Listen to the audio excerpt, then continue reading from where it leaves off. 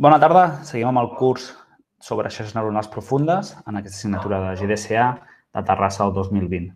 Avui el que farem serà fixar-nos en una capa específica que es diu la capa de Softmax i que permet fer un tipus de regressió una mica especial que veureu que ens serà molt útil.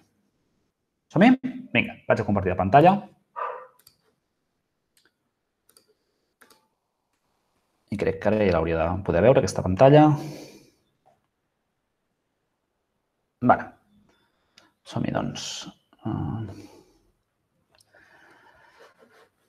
Recordeu on ens hem quedat l'últim dia. Uh, fins ara hem vist què és un perceptró. Un perceptró és aquesta neurona que permet resoldre problemes de classificació binària, especialment si a la sortida, per exemple, posem una activació que ens tregui els valors entre 0 i 1. Aquesta activació, recordeu com es, com es deia, que tenia valors entre 0 i 1, que si tenia una part, primer una part lineal, el perceptor, després una, una part final. Com es deia aquesta activació que ens mapejava els valors de sortida entre 0 i 1? Podeu escriure en el xat.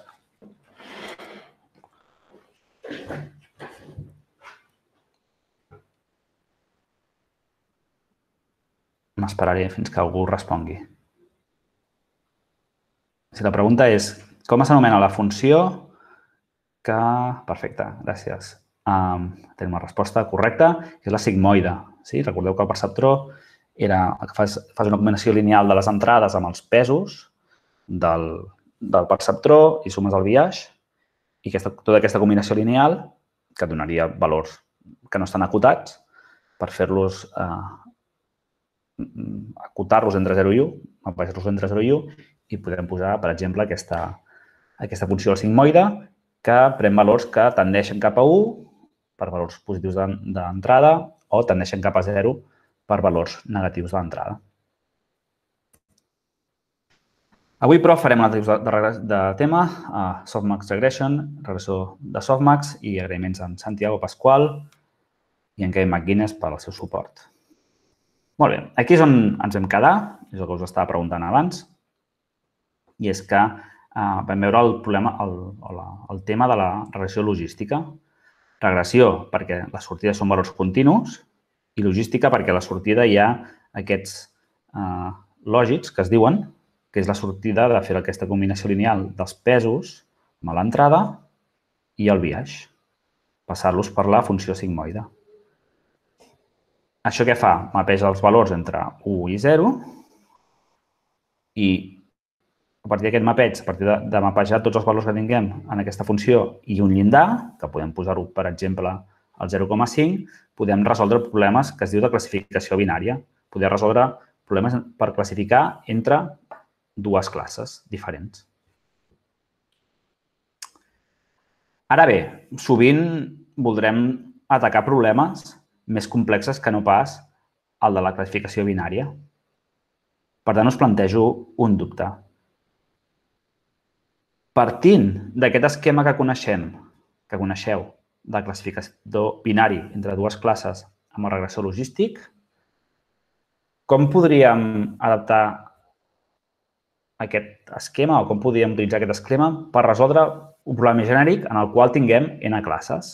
n classes vol dir que en lloc de classificar només entre gossos i gats, ara potser també tenim cavalls, ocells i totes les classes que vulgueu. Com ho podem fer? És una pregunta per vosaltres. Vinga.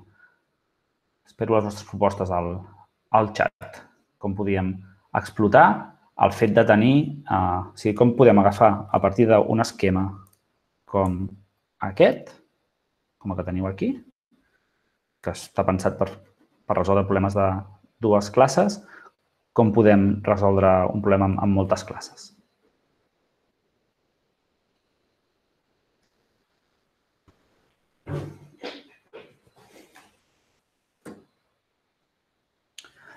Vale, hi ha una contribucions, gràcies per les contribucions que he posat. La primera opció que poseu és posar més llindars, més thresholds. Crec que el que voldria dir... Ei, aquí. És aquí, en lloc de posar d'aquí cap aquí, um, d'aquí cap aquí, uh, perdó, d'aquí cap aquí una classe, d'aquí cap aquí una altra, com a dir, partir-ho en, en més segments.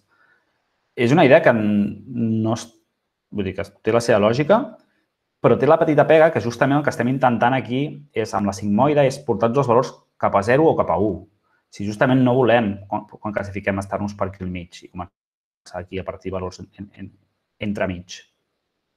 A banda de que la cosa es pot complicar bastant, eh? per veure com, com, com codifiques els valors. Recordeu les classes, crec que el primer dia, um, sí, el primer dia us vaig explicar el concepte de one hot encoder, que vol dir, o one hot vector, que vol dir com representar més d'una classe. Us pregunta com podem representar més d'una classe, per exemple, en el, en el cas d'Emnist. I veu, veu, veu, vam veure que això es podia fer amb un vector tan gran com el número de classes i posant un 1 a la classe d'interès. Llavors, crec que hem de pensar en aquest tipus de sortides. D'acord? Vaig a mirar les opcions a les que heu escrit. No es poden ah. interconnectar diverses neurones? Val. Sí, pots repetir-ho, sisplau, que no té sentit. Ja, si es poden interconnectar diverses neurones. Sí, sí. De fet, la solució n'hi ha per aquí, eh? Um, que jo crec que, si segueixo llegint el, el xat, sí, gràcies per la contribució, però la cosa va per aquí. El xat també diu, potser en a funcions. Després, l'altra opció és uh, hacer diferenciaciones binàries en cascada, que crec que va bé, que em sembla interpretar... El, problema és, la, la, quan diu diferenciació, crec que no fa referència a derivades, sinó a, aquesta classificació entre dos, no? De dir, de dir uh, o, o, no, ja crec, perdó, ja entenc, ja entenc el que vols dir. Crec que vols dir és uh, fer com un arbre, diria, en plan, no sé, primer, que, que sé, uh, felins i, i no, aus i mamífers i després uh, felins i, i altres, i cavalls o el que sigui. Vale, un àrbol. Uh, es podia fer, però no farem això. Però el, el, sí, el, el, el problema de l'arbre és que primer has de construir l'arbre. Si primer has d'agafar les teves classes i les has d'ordenar que, que, i, i, que es pot fer i potser és una solució que al final va, va millor. Eh? Però per ara suposarem que no tenim aquest arbre, suposem que totes les classes són, iguals, són igual d'important i que, per tant, aquesta no seria la, una forma. O el, potser que tu em diràs és, bueno, i si no tinc un arbre amb felins i no felins, sinó que jo el faig aleatòriament i parteixo les classes així, uh, podries fer-ho. Si, la, si, si estàs pensant en això, de dir, mira, doncs, de forma arbitrària poso primer de tot no sé, gats, gats i gossos junts i després cavall, cavalls i ocells junts i faig una primera divisió per aquí i després que separi entre ells dos, això sí que es podria fer. Tot i que no estic segur si un guany respecte a la solució que ara trobarem. Eh? Um, més, propostes, diu, processant per trossos i connectar diverses neurones entre elles. Um, no estic segur que, vol, que, que són els trossos eh, de, la, de la proposta. Si voleu explicar, si trossos de què? Trossos d'imatge? Estàs pensant? Bé, ja ho veurem, no sé. En cas, recuperem la, la idea del que, del que heu comentat amb, de paraula i també alguns en el xat, que de les, aquestes n funcions. Una, una forma molt natural de resoldre el problema de les n classes és així. És, fixeu-vos, en aquest esquema el que estic fent és estic col·locant una neurona, un perceptró, assignat a cada classe. És a dir, puc, faig una classe, faig, perdó, faig un primer perceptró que em, em distingeix entre gos i no gos. O sigui, ara les classes són binàries en el sentit de ets, ets aquesta categoria o no ho ets. Llavors, aquesta sortida diu si ets gos o no gos, aquesta sortida diu si ets gat o no gat, i així ocell no ocell, cavall no cavall i el que sigui. Llavors, imagineu-vos que el que féssim és, aquí a l'entrada, agaféssim les... Els, ui, a l'entrada, tinc enrere, ara. Agaféssim els píxels de cada imatge, els poséssim un al costat de l'altre. I això ho, ens ho féssim a la xarxa. Això és una idea bastant dolenta, però es pot fer. Eh? Això es, podríem tenir una, unes tantes entrades com píxels a les imatges i féssim que totes les imatges tinguessin la mateixa mida i podríem entrenar una xarxa, fem uh, retropropagació, trobar tots aquests pesos i al final tornaria una solució. Vull dir, això ja, això ja, ja podríeu fer-ho, podríem resoldre-ho. Fixeu-vos, però, que um, suposant que això, que a la sortida hi ha, hi ha una sigmoide, eh? o sigui, vol dir que és el, una regressió logística. Um, que, ho, que tenim una imatge de test, la posem per aquest, tots aquests perceptrons en, en paral·lel, tant perceptrons com, com classes vulguem detectar i surten resultats d'aquest estil. No? Bueno, cada, cada sortida tindrà un valor entre 0 i 1, perquè si la sortida hi ha sigmoides, els resultats que hi haurà la sortida sempre serà entre 0 i 1.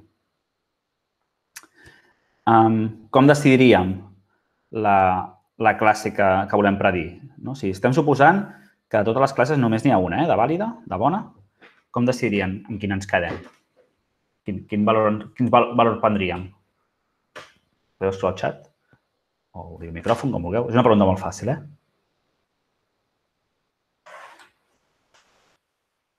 Hola, com, com, quina classe decidiríeu? En aquest exemple que us... Que us bueno, aquest exemple és potser una mica dolent, però com decidiríeu?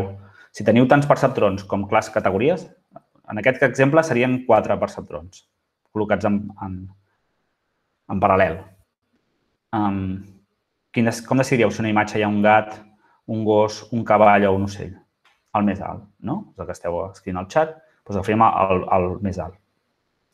Quan teniu Um, quan us quedeu amb el valor més alt de tots els possibles, aquesta operació es diu l'arc max, que vol dir que ens quedem amb, amb l'índex, amb la classe, que té un valor més alt. Si ens quedem amb el, amb el, log, amb el lògic, més alt. Sí? Faríem aquesta operació. Llavors, el problema és que la funció arcmax, si queda't amb el millor, el més alt, això no té derivada. O sigui, no, no podeu, o sigui, no, és, no és possible calcular la derivada de Armax. I, i, I recordeu que l'últim dia, quan vam explicar eh, retropropagació, vam dir que podríem estimar els paràmetres d'una xarxa sempre que totes les operacions que hi en, en, en, aquestes, en aquestes xarxes eh, fossin diferenciables. Llavors, si, si, en, si en algun punt d'aquesta xarxa ha una operació que no és diferenciable, vol dir que no pots calcular la derivada, no podrem calcular la retropropagació i no podrem entrenar el sistema. Per tant, no podem, si, no podem d'una forma així directa dir, bueno, doncs faig, miro aquestes sortides i per entrenar miro d'aquestes sortides quin és el màxim i entreno, perquè no podreu entrenar. Us, fa, us faltarà la derivada d'aquesta funció. La derivada de la funció argmax no existeix no és diferenciable. I clar, això és un problema. Llavors, espera, em poso una altra, una altra pantalla per veure el que veieu vosaltres. Vale. Llavors, aquest problema eh, intentarem resoldre'l amb aquesta funció, el que es diu la regressió softmax. Així que és, ja ara ja no farem la regressió logística, sinó que farem un altre tipus de regressió. Anem a veure com, com es fa. Ara aquí el que farem és, um, de totes les sortides, fem la combinació lineal, mirem totes les sortides, que també aquí també els hi fa referència a lògic, però aquí no, hi ha sigmoide, i el que fem és, uh, per una banda, per cadascuna, dels, per cadascuna de les combinacions lineals, aquests x, x transposada multiplicada pels pesos, Val? El que fem és l'elevem amb un exponent. Fem l'exponencial d'aquesta combinació lineal.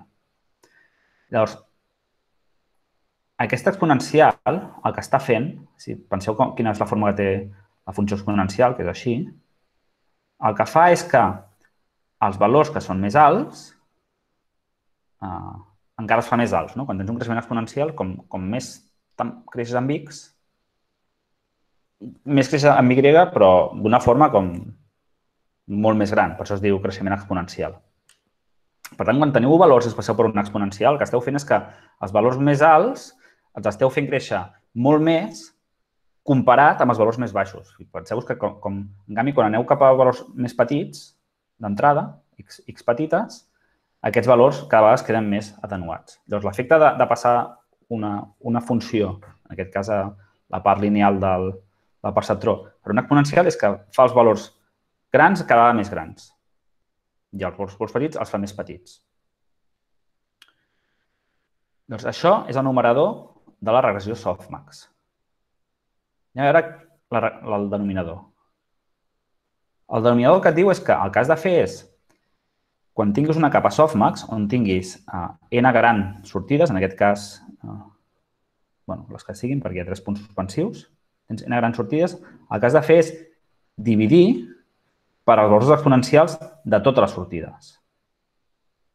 Que, de fet, l'efecte que aconsegueixes d'aquesta forma és normalitzar.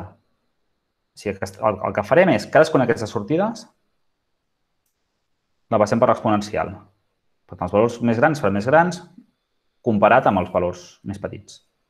I, per altra banda, en el denominador, el que fem és totes aquestes exponencials de tota la capa, els, les sumem i dividim per elles. És normalitzar. O sigui, al final, a la sortida que tindrem? Tindrem un efecte com el que veieu en aquesta figura. Que si tenim unes sortides d'aquest estil, si la, la part lineal del perceptró us dona sortida d'aquest estil, on fixeu que té positius, valors positius, valors negatius, i ho passem per una capa softmax, el resultat és que el valor que aquí era el més gran, ara és encara més gran. Que valor, el segon valor que era més gran, que comparativament no era molt més gran, ara relativament és molt més petit. I aquests valors que eren més petitons, no sé si us veieu, aquí, aquí queda una miqueta de, de rosa, però bàsicament s'han fet superpetits, tan petits que, que, de fet, a la gràfica, en aquesta figura, molts d'ells no es veuen. I són, però no, hi ve, però no es veuen. Llavors,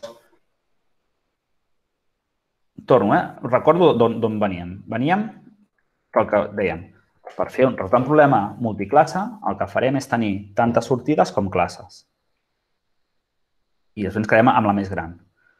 I, us, i jo, jo, jo mateix m'he dit, però això no podem, a nivell pràctic, no podem implementar-ho perquè el que necessitem és una funció al final que no ens digui quina és la més gran, sinó que ens permeti calcular una funció de pèrdues que eh, encaixi amb, el, amb els, amb, amb l'algoritme de retropropagació, que per tant sigui una funció que puguem eh, diferenciar. Ara, aquestes exponencials, la gràcia està que la, les, les funcions exponencials eh, i la seva suma, òbviament, tot això sí que és diferenciable. Per tant, no hi ha problema. Aquesta capa softmax sí que la podem eh, derivar, podem trobar les seves derivades i calcular els gradients. I, per tant, calcular la retropropagació. I de nou, aquí, en aquesta gràfica, um, quin efecte, sí, quina, quina funció creieu que estem com simulant aquí i que, i que ha fet argumenta que aquesta capa es digui softmax? Quina és la funció una, que estem? Una pregunta. Um, sí. Quan els passes per la softmax, els valors sempre quedaran o sigui, entre 0 i 1, no? En plan... Sí, exacte. Sí, això no, no ho havia observat, però pel fet de que hi ha el, aquest denominador que està sumant tots els valors de totes les sortides, els sumes i, i, i derives, el fet, el fet de normalitzar-los sempre en quedaran entre 0 i 1. I, de fet, hi ha una altra observació que no sé, potser, potser feies la, el comentari per aquest motiu, eh? i és que eh, fixeu-vos els valors negatius si teniu valors negatius, que la sortida de la capa lineal et pot passar. No, no, és, és, no, aquesta part d'aquí, quan fas la combinació lineal de les teves entrades amb els teus pesos, poden sortir valors negatius sense problema. Um, com que ho estàs passant per una exponencial, l'exponencial, les seves sortides sempre són positives, tots, tots els valors també llavors uh, són positius. I per això van entre 0 i 1, no? que els, els valors que potser d'entrada serien negatius, per l'efecte de l'exponencial passen a ser, a ser positius. I però... una altra pregunta, que bueno, això no està segur, però clar, la suma de tots els valors no és igual a 1, això sí que no. Sí, sí, perquè... Sí. Clar, bueno, la suma de... Sí, vale, vale, vale, vale. La suma de tots aquests valors aquí, després de la softmax, suma 1. Vale, vale, perfecte. Merci. Sí? Llavors, la meva pregunta era eh, quina funció estem intentant simular amb la softmax? Quina és la funció que estem intentant simular?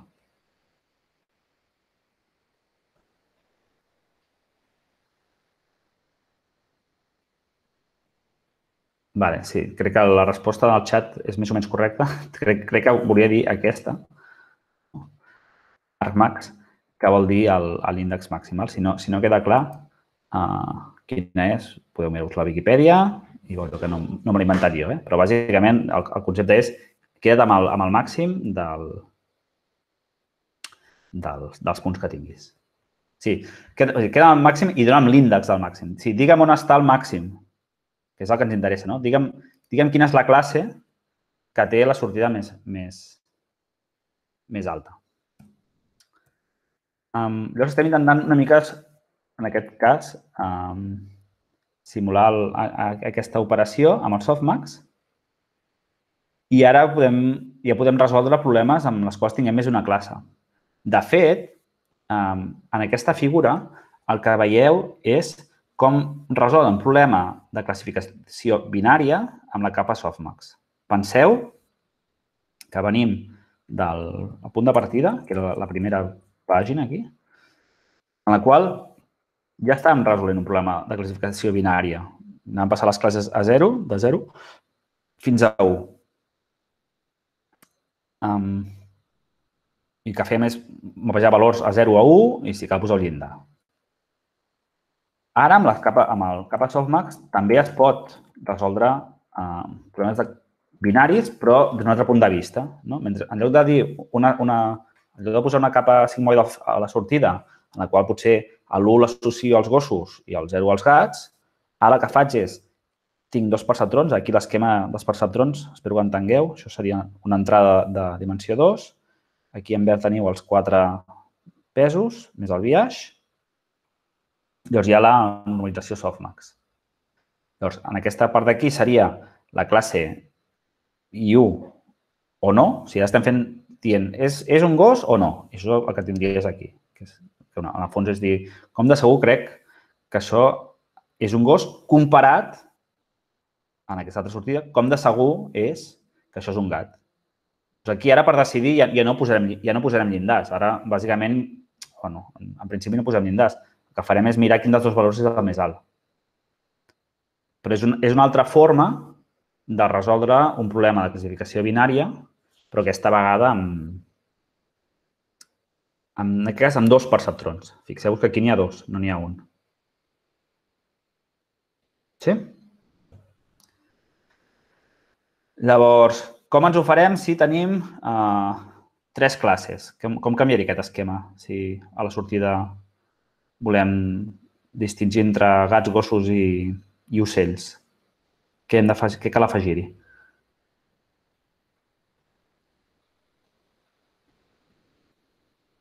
És una pregunta per vosaltres. Podeu respondre? Què què hem d'afegir-hi? Com esteu escrivint al xat, hem d'afegir un altre perceptró. Val? La sortida, com aquí. I, de fet, aquí podem anar posant tants perceptrons com vulguem, tant, tant perceptrons com classes tinguem. Um, per acabar, us, us dono una, una formulació en forma de matriu. Crec que ja n'hem vist, ja en vam veure una, però ara després en veureu encara una altra vegada més.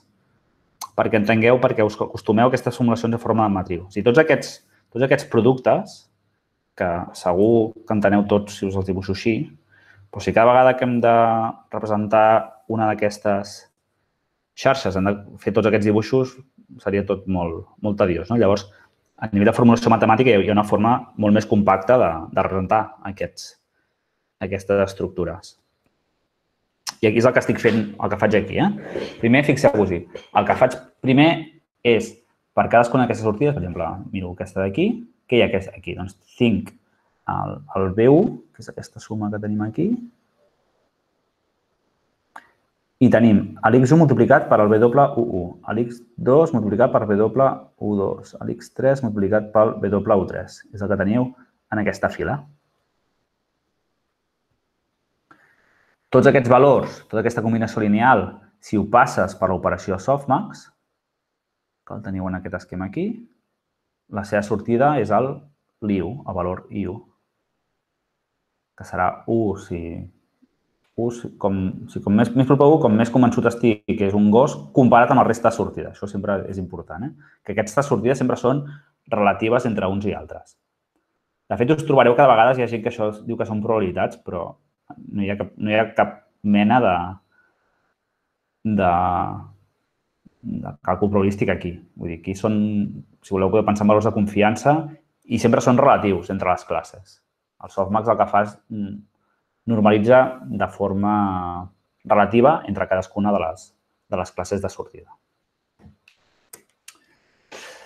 Si aquesta, aquesta distribució que està fent dels valors li donem una volta més i ara que fem, veieu, tots aquests productes eh, que aquí ho teniu amb cada fila per cada sortida, ho podem expressar amb un producte de, de matrius. No? Si tinc aquest, aquesta matriu B doble, aquesta fila per aquesta columna i teniu la, la, la primera d'aquestes operacions. Sí, a la segona, aquesta fila per aquesta columna, més el B2, teniu la segona de les operacions. I per l'última també, fila per columna, més B3, teniu aquesta operació d'aquí. Sí? Ho dic perquè sovint utilitzarem aquesta notació. Doncs sovint veureu això. El WX més B i softmax, que és en aquest cas aquesta capa. De vegades penseu que quan tinguem, uh, veureu després que tinguem moltes més capes, de vegades no, això no serà una softmax. Potser això de vegades serà una tangent hiperbòlic o serà un sigmoide o serà un arrelo. Pot haver-hi diferents, um, diferents activacions, ja, ja ho sabeu. No és que aquesta part d'aquí, com veieu, aquest producte de matriu per vector d'entrada més un biaix, això mentalment heu de pensar en totes aquestes connexions que hi ha. O sigui, a nivell d'arquitectura, si haguéssiu d'implementar-ho, hauríeu de, de connectar-ho d'aquesta forma. En concret, si voleu uh, fer-ho en PyTorch, que és el que farem, crec que avui no, però crec que la setmana que ve ja sí, si voleu implementar un, una capa softmax, és tan fàcil com fer això. Log softmax, això vol dir que fa les, exponencials, i tens primer tot una capa lineal en tants inputs i sortides i després una capa softmax i aquesta, aquesta tros de codi implementa el, el model que hem, estat veient ara. Si teniu moltes inquietuds per altres alternatives que no siguin la softmax, podeu clicar en aquest enllaç que, que hi ha aquí, on hi ha tot de variants de, de funcions max que són diferenciables i que, és, on veieu, hi ha moltes opcions. Vale, aquí hi ha, un, hi ha un parell de preguntes. Diu, uh, la pregunta que és d'aquí, no? El, hi ha una pregunta que diu, i a parèntesi on posa dimu, a què fa referència la dimensió 1 aquí? Um, això fa referència a que la... quan, te, quan tens aquesta capa, en quina... O sigui, això és com una... La sortida sortirà una, una matriu... O sigui, la sortida serà com una, com una matriu i tu li has de dir si el solmax el vols fer o per files o per, o per columnes. Llavors, aquí li estàs indicant amb, amb quina dimensió vols fer el, el softmax. I aquí ja està com preparat per, perquè ho faci bé.